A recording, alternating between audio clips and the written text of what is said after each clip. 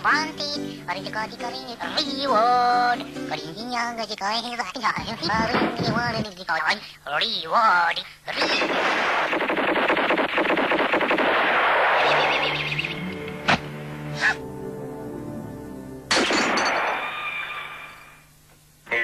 TV-strutsar blir inte långlivade.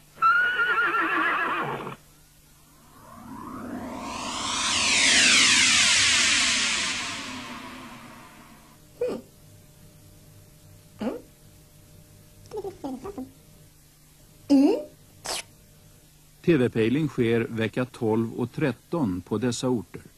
Ronneby, Uddevalla, Värnamo, Stockholm postnummerområde 115 och Stockholm postnummerområde 116 och i Kalix.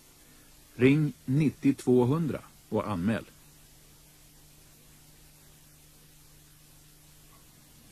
Ja, med den uppmaningen från Televerket ska jag berätta att vi sänt färdigt här i TV2 den här torsdagskvällen.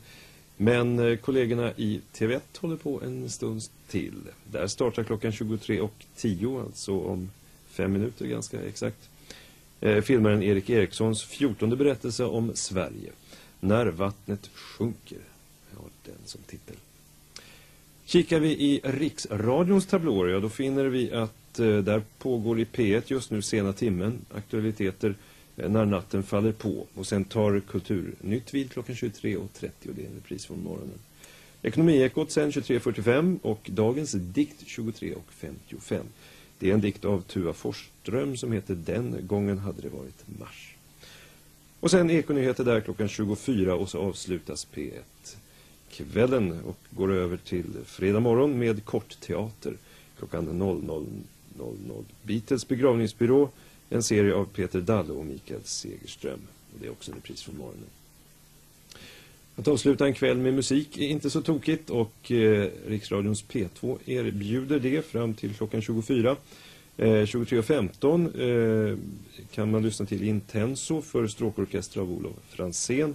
Det är radiosymfonikerna under ledning av Gustav Sjöqvist som framför den. Och sen tar gammal lutmusik vid 23.25 med Christopher Wilson.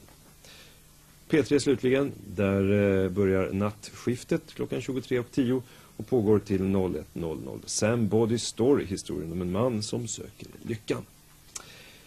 Ja, det är de möjligheter som vi här på Sveriges Radio kan erbjuda ikväll när vi nu på TV2 önskar er godnatt och eh, välkomna tillbaka till oss imorgon.